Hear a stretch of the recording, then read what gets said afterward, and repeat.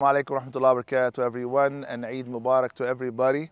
Uh, today is the second day, inshallah, the, the 11th of Zil Hijjah. Uh, yesterday we had our Eid celebration and prayers.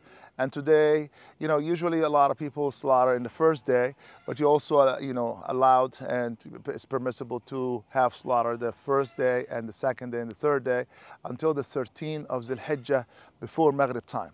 And since we are on the farm right now and we're trying to capture ours, udhiyah today, inshallah, we need to highlight, they are doing the hard work and I'm doing the easy one. Uh, we highlight few things about the udhiyah or the qurbani.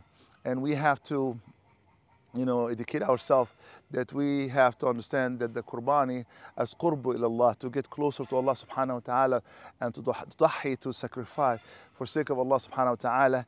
We have few things to remind the people who are practicing this um, uh, tradition or ibadah, the ibadah to Allah subhanahu wa ta'ala, to getting closer to Allah subhanahu wa ta'ala then first we have to remember to have mercy on the animal and we have to say Bismillah, Allahu Akbar by the name of Allah and you know say Bismillah, Allahu Akbar, Allah is the greatest and then also they have to remember that your knife have to be sharp and also you cannot do the slaughtering in front of the other animals.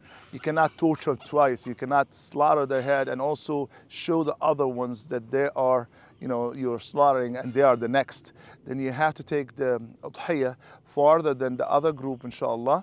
You have to make sure also to don't show the animal the knife, inshallah.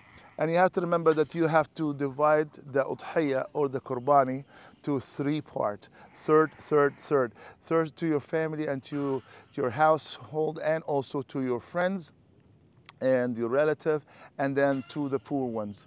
Then you have to and also i just remind everyone also if you are capable inshallah try to do your best to to direct the, your slaughter to the qibla toward the kaaba inshallah.